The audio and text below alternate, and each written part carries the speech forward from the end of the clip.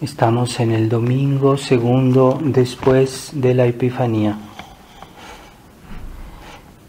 Lectura de la epístola del apóstol San Pablo a los romanos. Hermanos, tenemos dones diferentes según la gracia que nos se nos ha dado.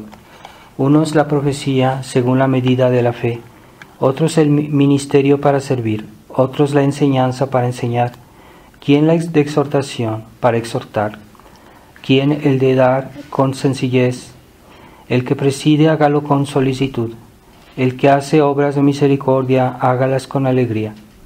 Vuestra caridad sea sincera, aborreced lo malo, aplicaos a lo bueno, amaos mutuamente con fraternal amor, anticipándoos en, en honraros unos a otros.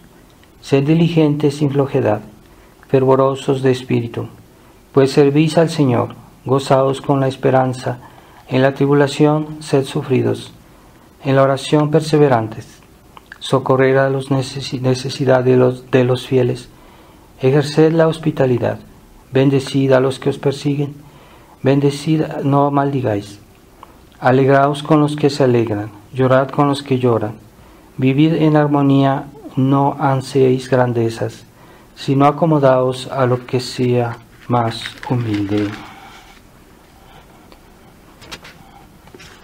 Lectura, continuación del Santo Evangelio según San Juan.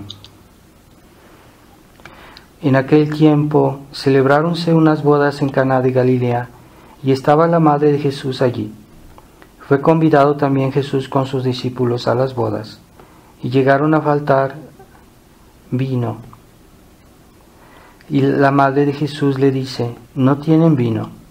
Respondióle Jesús, mujer, ¿qué nos va a, a ti y a mí? Aún ha llegado mi hora. Mas su madre dijo a los que le servían, haced cuanto él os dijere. Había allí seis cántaros de piedra destinados a las purificaciones judaicas, en cada uno de los cuales cabían dos o tres metretas. Y, y les dijo Jesús, llenad de agua los cántaros.